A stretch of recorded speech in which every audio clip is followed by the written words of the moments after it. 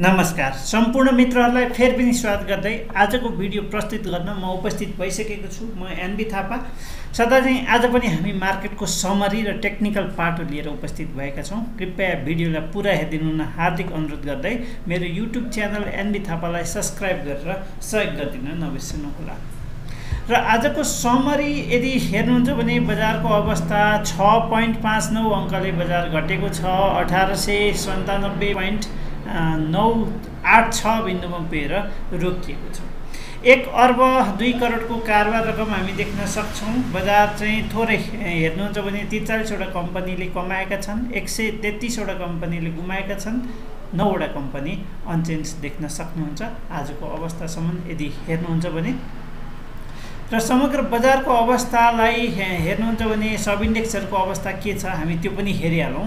सब इन्डेक्सहरूको अवस्था यदि हेर्नुहुन्छ भने आज ब्याङ्किङ सेक्टरमा केही पोजिटिभ देखियो भने त्यसै गरी नन लाइफ सेक्टर र ट्रेडिङ सेक्टरमा पनि केही पोजिटिभ देखिएको छ। हामी banking sector non life sector र ट्रेडिङ सेक्टरमा के भएको छ हामीले तपाईँहरूलाई सेक्टर एनालाइसिसमा पनि देखाउनेछौँ। कृपया भिडियोलाई पुरा हेरिदिनु हुन हार्दिक अनुरोध गर्दछु। सेयर बजार जोखिमको क्षेत्र हो यहाँ गरिएको लगानी डुब्ने सम्भावना पनि हुन्छ। त्यसैले लगानी गर्नु पूर्व आफूले पनि अध्ययन र अनुसन्धान गरेर मात्रै सेयर बजारमा लगानी गर्नुहोला। Apsara Saru travel and tour private limited मार्फत हामीले यो भिडियो प्रस्तुत गरेका छौँ। Travel insurance बिएफएफ appointment visa process tour package flight book गर्न चाहनुहुन्छ भने हामीलाई कन्ट्याक्ट गर्न सक्नुहुन्छ। स्वदेशी तथा विदेशी सस्तो हवाई टिकटको लागि अप्सरा सरू ट्राभल रोज्न सक्नुहुन्छ। भिडियोको डिस्क्रिप्सन बक्समा भएको वाट्सएप नम्बर अथवा यहाँ स्क्रिनमा देखिएको नम्बरमा कन्ट्याक्ट गर्न सक्नुहुन्छ। र अब हामी हेर्दैछौँ बजारको टेक्निकल पाटोमा के छ त बजारको अवस्था भनेर हेर्दाखेरि।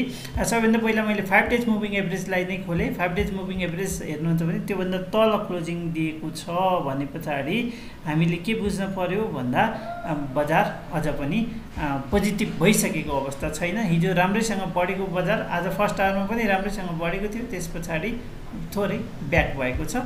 चुनाव अगाडिको यदि बजारको अवस्था मोमेन्टम हेर्ने हो भने चुनाव पछाडि बजार बढ्न सक्ने सम्भावनाहरू धेरै छन् भनेर बुझ्न सकिन्छ। अब हामी क्यान्डल वाइज सुरु गरौँ। क्यान्डल वाइज सुरु गर्नुपर्दा हिजोको क्यान्डललाई यदि हेर्ने हो भने हिजोको क्यान्डल चाहिँ एउटा देख्न सक्नुहुन्छ माथि कुनै पनि स्याडो थिएन भने त्यो क्यान्डलको जुन हाई भयो उन्नाइस सय चार र त्यसको लो लो भनेको तपाईँले देख्न सक्नुहुन्छ।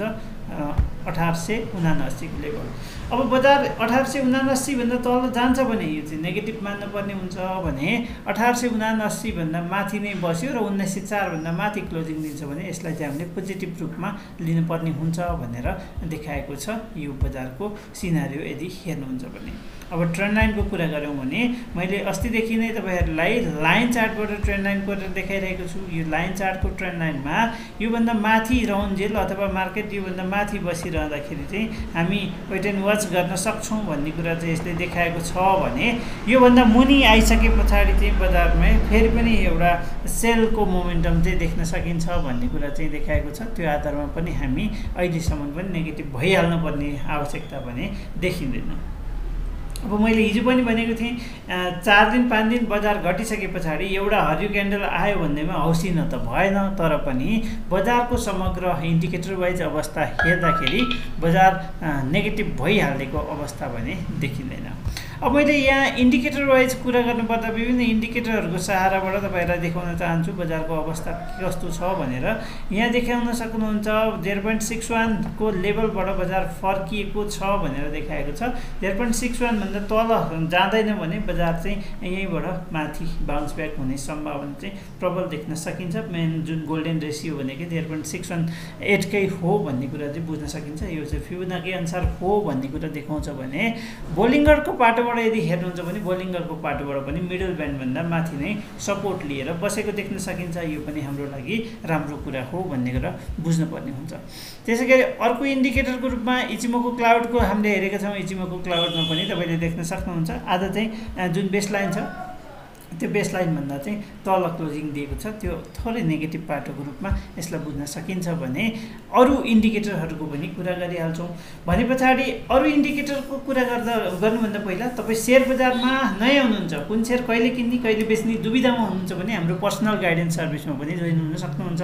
हामीले तपाईँहरूलाई त्यहाँ हरेक दिन स्टक वाइज सजेसन दिन्छौँ तपाईँसँग भएको स्टकको एनालाइसिस गरेर त्यसको पोजिसनबारे जानकारी गराउँछौँ। त्यदि यस्तो सर्भिस चाहनुहुन्छ भने भिडियोको डिस्क्रिप्सन बक्समा भएको वाट्सएप नम्बरमा आएर हामीलाई कन्ट्याक्ट गर्न सक्नुहुन्छ। साथसाथै हामीले कम्युनिटी मार्केटमा पनि गोल्ड कपर सिल्भर र क्रुड ओइलको ट्रेडिङ गराउने गरेका छौँ। यदि तपाईँ नयाँ हुनुहुन्छ अथवा टेक्निकल्ली केही जान्नुभएको छ छैन छैन भने हामीले तालिम दिएर पनि तपाईँहरूलाई त्यो सम्बन्धी ट्रेडिङ गराउने काम गरेका छौँ। यदि तपाईँहरूलाई फुल्ली अटोमेटेड बाई सेल गर्न चाहनुहुन्छ भने इन्टरडे गर्न चाहनुहुन्छ भने पनि कमोडिटी मार्केटमा तपाईँ इन्ट्री हुन सक्नुहुन्छ।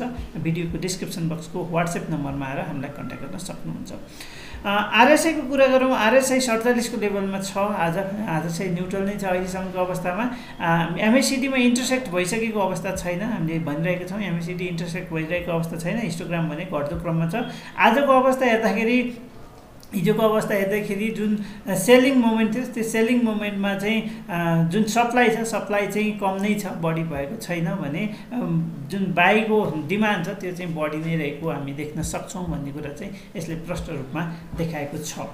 यो चाहिँ भयो आजको मार्केटको टेक्निकल पार्ट हो र अब चाहिँ म सेक्टर वाइज पनि तपाईँहरूलाई केही कुरा जानकारी गराउन चाहन्छु। सेक्टर वाइज तपाईँलाई भन्नुपर्दा कुन सेक्टर? आज तिनवटा सेक्टर बढेको छ त्यो तिनवटा सेक्टरको अवस्था कस्तो छ त भनेर देखाउँछु।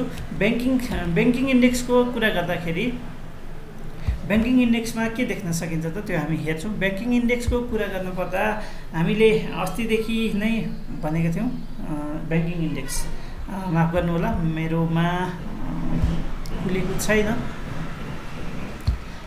ब्याङ्किङ इन्डेक्स सरी मैले यो देखाउन सकिनँ। न नन लाइफ अघि बढेको सेक्टर भनेर हामीले के हेरेको थियौँ? Non life sector non non life sector र trading sector non life sector र ट्रेडिङ सेक्टरको पनि हामी हेर्छौँ के छ त अवस्था भनेर।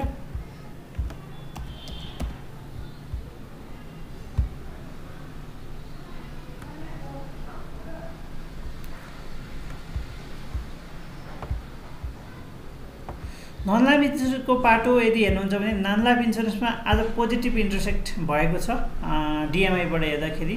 डिमान्ड बढ्दो क्रममा हामी देख्न सक्छौँ भने अर्कोतर्फ चाहिँ एमएसिडीमा एमएसिडीमा इन्टरसेक्ट भएको छैन नेगेटिभ क्रसओभर भएको छैन। त्यो कारणले गर्दा होप अझ पनि बाँकी छ भने आरएसआई तपाईँले देख्न सक्नुहुन्छ। आरएसआई लगभग चालिसको लेभलमा न्युट्रल जोनमै छ भन्ने कुरा देखाउँछ। यसमा पनि यदि हेर्नुहुन्छ भने तपाईँले देख्न सक्नुहुन्छ यो अवस्थासम्मको आइपुग्दाखेरि अघिल्लोचोटि यो लोभन्दा ठ्याक्कै यही लोमा सपोर्ट लिएर माथि गएको र यहाँ चाहिँ तिनवटा चाहिँ रिभर्सल क्यान्डलहरू देखिएको छ। त्यो रिभर्सल क्यान्डलले मार्केट फर्काउन सक्ने सम्भावना चाहिँ प्रबल छ भन्ने कुरा चाहिँ देखाएको छ। यस यसले चाहिँ भनेपछि नन लाइफ सेक्टरको कुरा हो यो। ब्याङ्किङ सेक्टरको कुरा गर्दाखेरि ब्याङ्किङको मेरोमा खुलिरहेको अवस्था छैन। ब्याङ्किङ इन्डेक्स कुलेन सरी माफ गर्नुहोला। र आजलाई भिडियो कस्तो लाग्यो कृपया प्रतिक्रिया दिन नभुल्नुहोला। तपाईँलाई यदि अनलाइन रूपमा ब्रोकर आइडी अथवा डिमेट आइडी खोल्न चाहनुहुन्छ भने पनि हामीलाई कन्ट्याक्ट गर्न सक्नुहुन्छ भन्दै अहिलेको लागि पनि भिडियोबाट बिदा हुने अनुमति चाहन्छु। हस्त नमस्ते।